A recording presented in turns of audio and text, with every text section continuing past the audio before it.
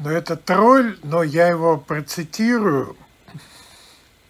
Смешно, они такие... Но тролли, э, знаете, бывают такие думающие, рассуждающие. А вот это вот самый примитивный вариант ФСБ такой.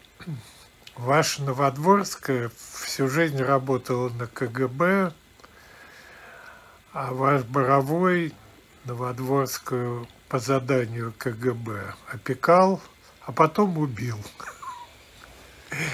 Я это цитирую, потому что это смешно, ну правда смешно. Но у них фантазии совсем нету.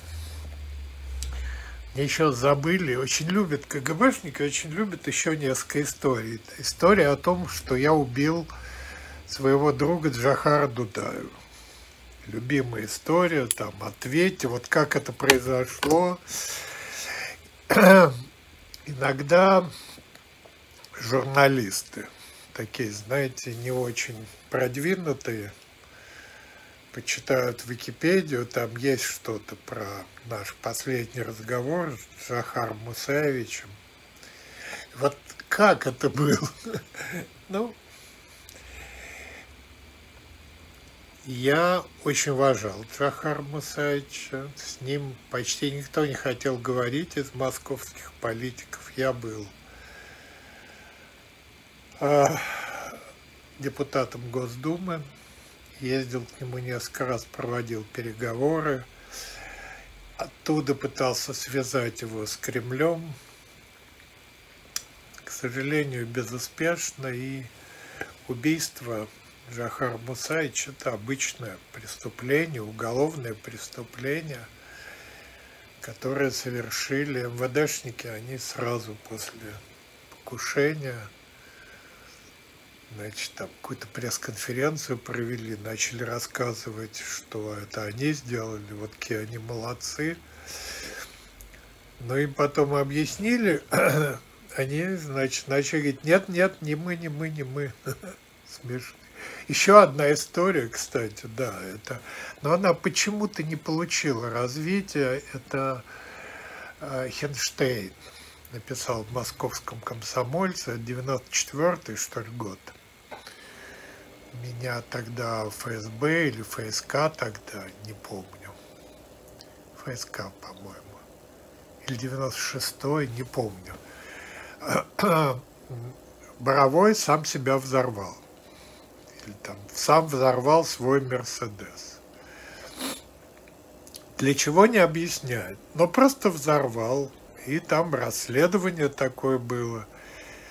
Я уже рассказывал, я к директору ФСБ, как депутат обратился, там все выяснили тут же, кто у него куратор у Хини, какое он получил задание, как с ним за эту статью расплатились. Там его послали брать интервью в Соединенные Штаты у директора ФБР. Вот, и директор э, ФСБ или ФСК тогда, не помню. Даже не помню кто. По-моему, Николаев был такой. Вот, так напрягся, и, и когда ему сказал, что ну я вот знаю даже куратора Хининова, знаю, когда ему дали это задание, там, он сказал, мы никогда и ничего незаконного не делаем. Я говорю, ну как, вот журналист, вы вмешиваетесь в политику, государственное ведомство. Вроде там был короткий момент, когда они Конституцию не защищали. Это было пятое управление КГБ, защита Конституции, и вроде им там официально запретили это делать, потому что это обычное преследование инакомыслящих. Мы ничего незаконного не делаем. В общем, а вам бы надо рассказать, о чем вы говорили с Дудаевым. я говорю, сейчас. Было еще несколько таких историй все-таки про Новодворскую. Понимаете, вот это предположение о том, что эти уроды, ладно уроды, Кремль, Путин могли завербовать Новодворскую ну, оно абсурдно, конечно. Лерочка, там вот если с Путиным сравнивать, потому что все его, вся его шобла, это вот примерно он и есть, его уровень. Ну, не интеллектуально, не э, по моральным качествам, но они просто несравнимы. Лерочка превосходит всю эту команду. А, ну, нельзя было ее завербовать, нельзя было ее подкупить, нету таких денег. А, есть несколько человек, на которых э, Лерочка ориентировалась или любила их. Это Звят Гамсахурдия, это Джахар Дудаев – а, оба любили Лерочку, просто Джахар ей там пистолет подарил. Вот, а Гасахурдия, ну, тоже какие-то подарки делала. Любила она их. Для нее авторитетом был э, ну, немало было авторитетов, кстати говоря. Э, Вацлав Гавел был авторитетом. Вот тоже человек, ну, высочайших моральных качеств, диссидент, правозащитник, тоже литературный критик, тоже публицист, статьи его очень популярны были.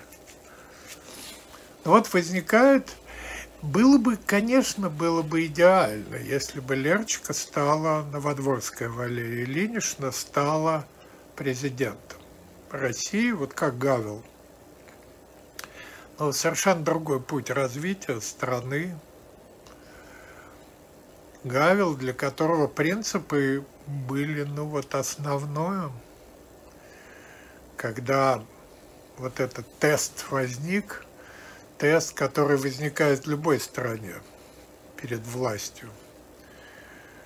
А когда Словакия, Словаки заявили о том, что хотят независимости, многие политики, Вацлав Гавел, его реакция была очень простой, конечно. Ну, раз вы хотите, значит, так и надо. Там мне казалось, там референдум был, но меня тут кто-то поправил. Даже референдума не было. А, там вокруг были, конечно, свои там шахраи, свои националисты, империалисты, которые говорили, ни в коем случае нельзя отпускать, там сосредоточена вся наша промышленность. Вацлав Гавел сказал, нет, свобода ценности свободы более ценны, э, чем любая промышленность. Ну вот Словакия осталась с этой советской промышленностью. По-моему, очень долго потом с ней разбиралась, не знала, как делать. Ну, вот такая схема почти как в России было. Вот потом как-то выправили, но, по-моему, э, Чехию они до сих пор не догнали по экономическому развитию, по, по интеллектуальному развитию тоже. Вот. Так что предположение о том, что Боровой убил Новодворскую, ну, ну, милое тоже предположение, ну, 30 лет, 32 года дружбы. Ну, я не хочу себя сравнивать с Лерочкой сказать, это когда я умру, сравните, не забудьте, а сейчас не хочу. Вот, но ну, я ориентировался на ее систему ценностей, и подкупить меня нельзя. Ну, вот сейчас уже потому, что старый, мне ничего не нужно, мне и так хорошо. А, быть независимым, честным, приятно. И то, что я делаю сейчас, я делаю уже даже не для современников. Обманывать, получить какие-то бонусы, дивиденды временные. Нет, мы уже по ту сторону, ментально во всяком случае. Хотя я еще доставлю неудобства, неудовольствия многим. Я на это рассчитываю.